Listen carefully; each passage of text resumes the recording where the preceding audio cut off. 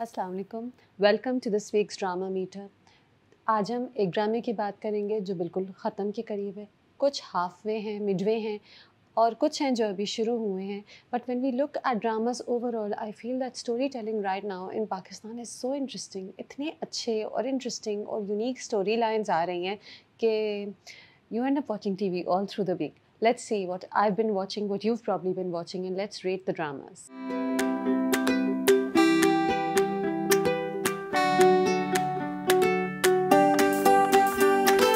Let's start with Jaane Jahan Jaane जहाँ वो drama है जो बस अब ख़त्म हो रहा है। आखिरी किस्त इस हफ़्ते आएगी। It's been a beautiful journey and Jaane Jahan वाकई ऐसा ड्रामा है कि आप कहते हैं कि क्यों ख़त्म हो रहा है? You wanted to go on and on because it has been so well done अच्छा अब पिछले एपिसोड्स में हमें थोड़ा डर लगा कि शायद महानूर और शहराम का सैड एंडिंग की तरफ़ हम जाएँ। Shahram might be blown up by bomb blast Mahnoor might be blown up too but शुक्र है, महानूर का ये ईवल एक्स को टाइम पे रोक दिया जाता है। हम हम तब्रेज़ की डेथ देखते हैं, हम किश्वर को मॉर्निंग में देखते हैं, हम गुलजेब को हाफ़ मैट देखते हैं क्योंकि उसने अपने पहले हस्बैंड के मर्डर का बदला लिया है by killing her second husband so lot of things happen in Jaane Jahan और अब आगे मेरे ख्याल से क्योंकि अब आखिरी किस्ती रहती है we will obviously see Kishwar regretting शायद वो अपने गुनाहों को एडमिट करे। गुनाह तो उसके बहुत बड़े बड़े हैं तो देखते हैं कि उसकी क्या उसको मज़ीद क्या पनिशमेंट मिलती है। She is already lost her beloved son and hopefully हम मानूर और शहराम की हैप्पी एंडिंग देखेंगे। It's been a drama that's made a smile through very well done by Qasim Ali Mureed by next level entertainment by the actors they've all done so well five out of five अब एक नए ड्रामे की बात करते हैं जद पत्तों का बन हम टीवी नेटवर्क पर।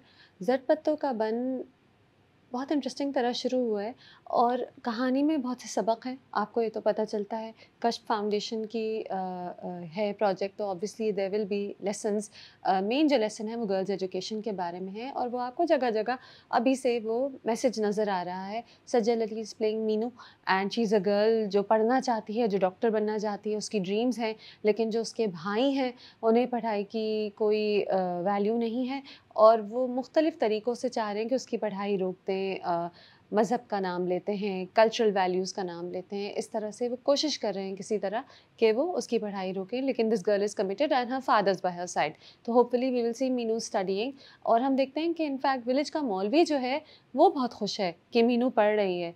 तो यू you नो know, हम देखते हैं कि रिलीजन के पर्सपेक्टिव्स होते हैं लोग मज़हब को इस्तेमाल करते हैं अपने काम निकलवाने के लिए जबकि मज़हब कुछ और कहता है how can religion be against a girl getting education that is not possible तो there is very good acting here. Sajal Ali is so amazing on. Uh, एक सीन uh, है जिसमें she is dancing to the dhol और बिल्कुल village girl की तरह dance कर है she is big grin on her face आपको लगता ही नहीं कि सज्जल है आपको लगता है कि मीनू है एंड देन um, एक और ट्रैक है हमजा सुहेल का ही इज़ डॉक्टर नोफिल जो इस वक्त अपने हायर अप्स को चैलेंज कर रहे हैं क्योंकि उन्हें लगता है कि uh, एक केयरलेसनेस uh, की वजह से एक पेशेंट की अभी अभी डेथ हुई है तो वो ट्रैक है, अभी वो डेवलप होगा।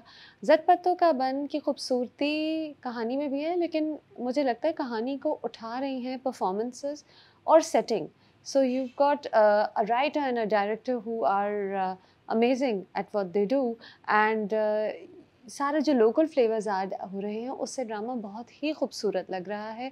Four out of five to this drama that's off to a very interesting start on to Burns road के रोमियो जूलियट बंस रोड के रोमियो जूलियट जनरली एक बहुत वेल डन ड्रामा है. स्क्रिप्ट बहुत अच्छी है. उसमें मैसेजेस बहुत सारे हैं और बहुत पावरफुल है. बट अब उसमें दुख को ख़त्म होने की ज़रूरत है। बहुत टाइम से हम देख रहे हैं कि फ्रिया और फरहाद की फैमिलीज़ उन्हें हेट करी हैं क्योंकि उन्होंने इजाज़त के बगैर शादी कर ली। Now we need to see some happiness coming to this drama so right now we're at an unhappy point I am hoping this the last unhappy point in this drama and then we go towards the ending Farhad father has died away his mother has gone half mad वो कह रही हैं कि तुम Freya को छोड़ के हर वक्त मेरे पास रहो। फरहाद की खुद की बहुत इनसिक्योरिटीज़ हैं क्योंकि फ़ादर समझता था कि वो किसी काम का नहीं है। तो वो भी अपने आप को क्वेश्चन करने लगा है कि क्या मैं वाकई यूज़लेस हूँ? जॉब से भी निकाला गया है और पकवान भी बहन, किरण के नाम हुआ है। अच्छा किरण का एक अलग ट्रैक है जो एक बहुत फ्रस्ट्रेटिंग बहुत सैड ट्रैक है। उसका हस्बैंड एक बुली है, उसे डोमेस्टिक वायलेंस भी है इसमें। उसे कह रहा है कि तुम पकवान बेच दो, उसको थ्रेटन करता है और वो चुपचाप सहे जा रही है, सहे जा रही है। लेकिन हम ये देखते हैं कि किरण हर बार अपने हस्बैंड की बात नहीं मानती। So we have hope that this girl will stand up against him and teach him a lesson लेकिन कब? अब ये हो जाना चाहिए। इसी तरह फ्रिया का ट्रैक है she is trying to understand कि फरहाद बहुत पेन में है but she is not your she is not the kind of girl जो बकवास सुन लेगी तो जब फरहाद उसकी पप्पो के साथ मिसबिहेव करता है तो वो स्टैंड अप करती है कि तुम क्यों बदतमीज़ी कर रहे हो? प्रिया के भाई का भी एक ट्रैक है, वो बड़े आराम से अपनी बीवी की बातों में आ जाता है माँ बाप से बदतमीज़ी करता है फैमिली बिज़नेस लीव करने की बातें करता है। So we have a lot of people fighting and being being aggressive and a lot of pain and tears in buns road के रोमियो जूलियट मुझे समझ आता है कि ये पेन और टेयर्स कहानी का हिस्सा होते हैं, ये एक जर्नी होती है। लेकिन अब इस जर्नी को एक अच्छी तरफ़ जाना चाहिए। I have really like this drama throughout but now I feel we need to move towards the end 3.5 out of 5 to Burns road के रोमियो जूलियट अब एक और ड्रामा आया, बेहद। उसमें भी बहुत रोना है, बेहद रोना है। एंड एक्टर्स तो बहुत अच्छे हैं, Affan Waheed, Madiha Imam, Saboor Aly ZQ, Rubina Ashraf, all of them are acting very well. But वो ज़्यादातर रो रहे हैं या चीख रहे हैं या लड़ रहे हैं बड़ी परेशानियाँ इस ड्रामे में लेकिन वो सारी परेशानियाँ वो हैं जो हम बहुत बार देख चुके हैं you know rich girl marriage poor boy rich girl की माँ जो है वो पैसे की एरिगेंस में इतनी लॉस्ट है कि वो हर वक्त उसी की बात करती रहती है उसका बाप और बहन अच्छे हैं, वो पैसों को इतनी वैल्यू नहीं करते तो हमें ये बार बार ये सबक मिल रहा है कि पैसा ही सब कुछ नहीं होता। फिर हमारे पास एक जिल्ट टेक्स से है, जो ईवल है एनिमी है, वो चाह रहा है कि शादी ख़त्म हो। फिर हमारे पास एक नेबर है who is in love with our hero Saboor Aly is in love with Affan Waheed Jugnu is in love with Hamza. तो वहाँ पे वो शादी को ख़राब करने की कोशिश कर रही है। सबूर अली तो मुस्तकिल ही रो रही है इस ड्रामे में अच्छा रो रही है बट मुस्तकिल ही रो रही है और बाकी सब भी परेशान ही नहीं है, खुशी कम है बेहद में विच इज़ ओके एक्सेप्ट के मैंने कहानी बहुत बार सुनी और देखी हुई है and it's not like the performances are weak strong performances great production but Behadd has nothing new to offer so far two out of five right now एक और नया ड्रामा है जेंटलमैन जेंटलमैन की भी दूसरी किस्ती आई है। Gentleman star started lots of hopes attach to it दूसरे एपिसोड में हमें थोड़ी थोड़ी कैरेक्टर्स डेवलप होते हुए नज़र आए हमें रहमती पेट बाद नान सिद्दीकी नज़र आते हैं। Tough guy soft at heart romantic at heart Iqbal Munna played by Humayun Saeed. Again tough guy गुंडा है लेकिन ही इज़ अ रोमांटिक लड़कियों से थप्पड़ मारती है तो गुस्सा करने की जगह और uh, uh, उसकी तरफ़ माइल हो जाता है। And in fact end of the episode वो ये सोच रहा है कि गुंडागर्दी में तो कोई रिस्पेक्ट ही नहीं है मैं अपना प्रोफेशन ही चेंज कर लूँ। अच्छा and then of course Dasarna played by Yumna Zaidi strong opinionated very confident सही बात करने वाली उसका फ्योन से बिल्कुल खुश नहीं है कि वो इस तरह uh, पॉलिटिशियंस को तंग कर रही है अपने शो के ज़रिए, लेकिन जनाब will do words right I love how Yumna Zaidi is playing the role I love how everybody is I mean Adnan Siddiqui is transformed Humayun Saeed is in his element वो good guy नहीं bad guy with a soft heart जो play कर रहा है. अहमद अली भट्ट का role बड़ा अच्छा है. डायलॉग्स बड़े विटी हैं लेकिन जेंटलमैन अभी शुरू पे ही है। अभी स्टोरी बिल्डअप होगी अभी तक हमें समझ आया कि ये कैरेक्टर्स हैं। कहानी बिल्डअप होने में टाइम लगेगा।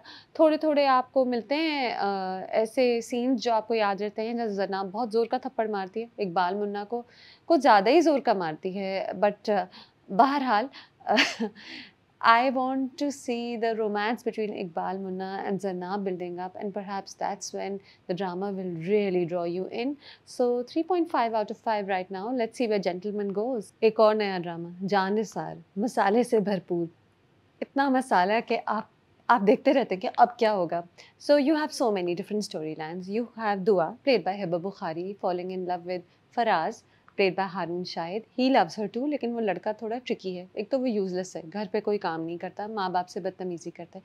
फिर उसकी दुआ की बहन से शादी हो रही है और वो शादी की प्रोसेस बिल्ड होने दे रहा है, तैयारियाँ चलते रहने दे रहा है। वो वेट कर रहा है कि दुआ अपने माँ बाप से बात करेगी तो फिर वो अपने माँ बाप से कहेगा कि शादी तोड़ दें। उससे ये नहीं पता कि इनफैक्ट जिस लड़की से उसकी शादी हो रही है, वो दुआ की ही बहन है। Very tricky and potentially volcanic situation coming up and उसके बाद दुआ कैसे रिएक्ट करेगी? उसके माँ बाप क्या उसे बहुत मारेंगे? कि ये कहाँ से लड़के से बात करी थी? बहुत कंजर्वेटिव घर को बिलोंग करती है। So we'll see where that goes कुछ फ्रस्ट्रेटिंग पार्ट्स भी हैं, जैसे कि दुआ ने अपनी बहन का हस्बैंड टू भी देखा ही नहीं है, हालाँकि वो बहन से बहुत क्लोज़ है, लेकिन लेकिन क्योंकि घर में रोक टोक बहुत है तो जी लड़का आया ही नहीं घर में, देखा ही नहीं कि किससे शादी हो रही है। जब वो तस्वीर देखने को कहती है तो मोबाइल की बैटरी वेरी कन्वीनियंटली डाई हो जाती है। Frustrating crazy bits in Jaan Nisar also दूसरी तरफ़ हमारे पास नौशरवान का ट्रैक है Nausherwan played by Danish Taimoor is a rich powerful guy he is getting interested in Dua बैठे बैठे स्माइल करने लगता है उसकी वीडियो देखते हुए। और वो इतना कॉन्फिडेंट है अपने बारे में कि शायद वो ये नहीं सोच रहा कि इस लड़की को मैं वापस पसंद आऊँगा कि नहीं? ये रोमांस कैसे बिल्ड होगा? क्या दुआ वापस नौशरवान में इंटरेस्टेड हो जाएगी? क्या ये वो वाली रिलेशनशिप होगी जहाँ लड़का बहुत इन लव होगा और लड़की बहुत एरोगेंट होगी? That's a hit formula by the way but let's see where Jaan Nisar goes and एक और ट्रैक है cringey track I call that the cringe track Nausherwan is now married to his ex bhabhi she is now उनके निकाह में है उनकी widowed uh, bhabhi. And uh, the widowed Bhabi is constantly reminding him that she's lonely, that he's not fulfilling his husband duties. So it's very cringy. But uh, regardless, जान हार में जो मसाला है जो स्टोरी की ट्विस्ट्स हैं वो आपको बड़ा इंटरेस्टेड रखती हैं it's a guilty pleasure four out of five and then there is Radd Radd is sensational Radd की कहानी की सबसे अच्छी बात यह है कि हर एपिसोड में बहुत कुछ होता है पेस इज़ अमेजिंग और इतना कुछ हो रहा है और इतना अडिक्टिव है रद। सो uh, so, पिछले तीन एपिसोड्स जो अभी तक मैंने देखे उसमें ईमान और जैन की शादी टूटती है बड़े तमाशे के साथ टूटी है टूटती है शादी के दिन टूटती है मेहमानों के सामने ईमान को पता चलता है कि जहेज़ के पैसों की डिमांड हुई है और वो खुली खुली बदतमीज़ी कर देती है लड़के वालों के साथ। जैन जो है एक मिसकम्युनिकेशन है क्रिएटेड बाय जैन's मदर तो उसको लेके जैन को डिप्रेशन हो जाता है, वो इतना बीमार हो जाता है कि उसके पेरेंट्स लंदन जाते हैं उसको, उसके साथ होने के लिए। लंदन में उसकी मदर की कार एक्सीडेंट में डेथ हो जाती है। इतना कुछ हो गया।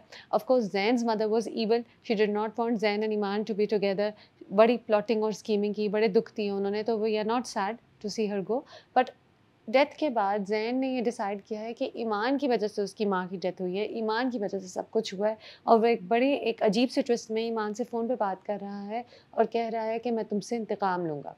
ये कहानी का एक ट्रैक है अच्छा now we also have other tracks Emaan father has cancer and uh, वो ट्रीटमेंट कराना नहीं चाह रहे वो पैसे बचाना चाह रहे हैं वो पैसे अपनी बेटियों में बांट कर आराम से एबटाबाद जाना चाह रहे हैं वही feels that he can spend his last days and Salar played by Sheheryar Munawar वही उन्हें कन्विंस करें कि नहीं आप ट्रीटमेंट कराएँ। अच्छा अब uh, ईमान की जो बड़ी बहन है, उसका मियाँ Jameel he is very greedy he is constantly trying के पैसे मिले।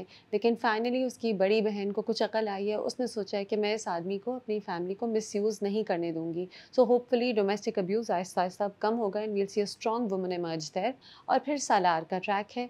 सालार के मामू हैं प्लेड बाय नुमान एजाज वो आए हैं सालार की शादी कराने जाना चाह रहे हैं, लेकिन वो बड़े आराम से स्टेप मदर और फादर की बात बिलीव कर रहे हैं कि हाँ सालार केयरलेस है हाँ सालार बिज़नेस में इंटरेस्ट नहीं लेता। हाँ सालार अपने पैसे उन दोस्तों में बांट देता है जो उसे बेवकूफ़ बनाते हैं। और मामू को लगता है कि उनमें से एक दोस्त ईमान के अबू हैं और सालार उन्हें पैसे दे रहा है अपने और वो उन्हें ट्रिक कर रहे हैं। अच्छा और द मामू इज़ ऑल्सो नॉट वैलिड कि सालार की शादी एक ऐसी लड़की से हो रही है जो बचपन से हैंडीकैप्ड है। उन्हें इससे कोई इशू नहीं है, वो बस अपने कामों से फारिग होना चाहते हैं, अपने भतीजे का काम करके वापस घर जाना चाहते हैं। और एक पॉइंट पे होता है कि सरार के मामू ईमान के घर आते हैं and he tells Emaan's father कि आप मेरे नेफ्यू को बेवकूफ़ बनाना छोड़ दें और आप तो ये प्लान कर रहे हैं कि मेरी अपनी बेटी की सालार से ज़बरदस्ती शादी करा दें।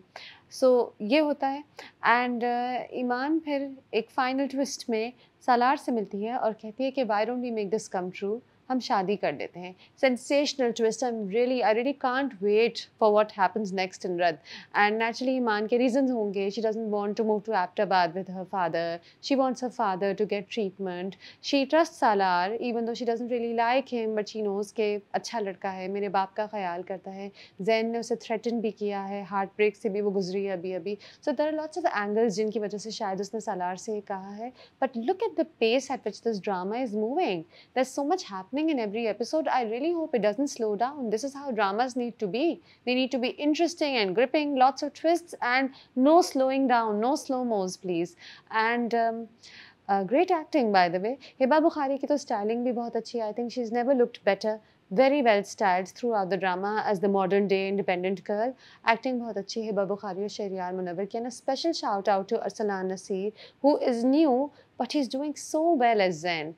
5 out of 5 to Rad. I can't stop watching. And that's it for now. These are the dramas that I've been watching. There are many more that I'm curious about that I'll begin watching now.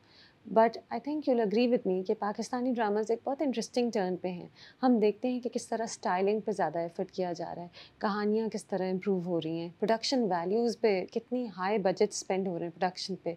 So we see all that happening it's an exciting time for Pakistani dramas and let's see do you agree with the ratings tell me tell me in the comments thank you